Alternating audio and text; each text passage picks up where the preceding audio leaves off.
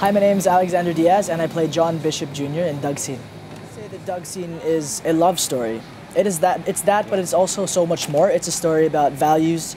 It's a story about finding yourself, finding religion, and it's a story about family. But on top of that, it's also a love story.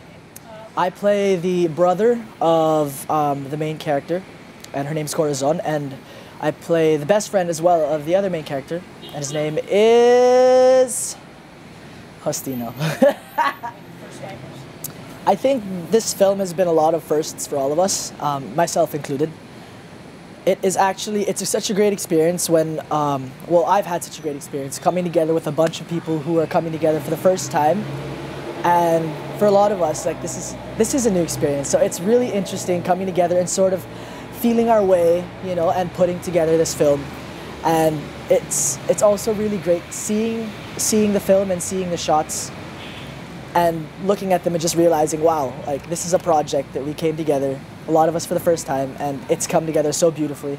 It's just a good feeling. Well, before I read the script, I auditioned for Cinemalaya, and the reason I auditioned for Cinemalaya is because um, I like that the stories there are so much deeper than ones portrayed in mainstream media.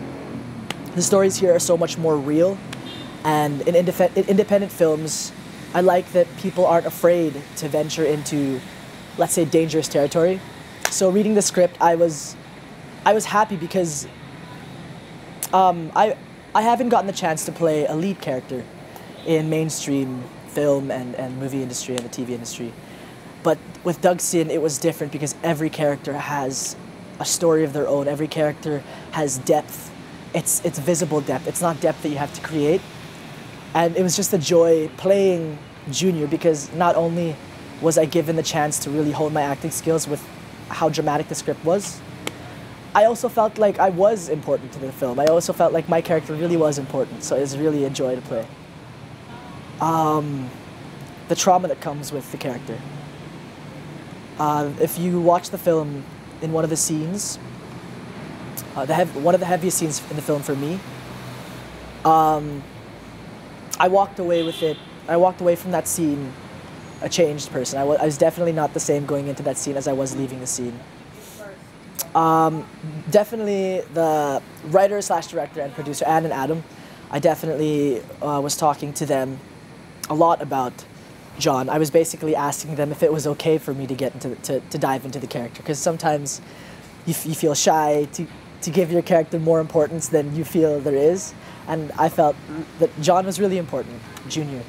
So I was working close with them, and I was also working close with uh, Janine and Ben because I do hold friendships and family uh, very close. I'm very, very close with my friends and my family.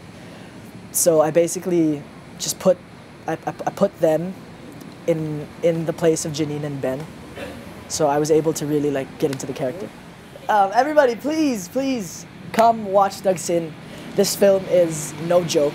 It is, we poured our heart and our soul into this film, and I'm sure you'll be able to see that if you, if you watch the film. When you see it, you'll see that this film has taken a piece of us with it, and I, I'm sure it'll take a piece of you with it. So please catch Dagsin. It'll be in Cinemalaya, so please catch it.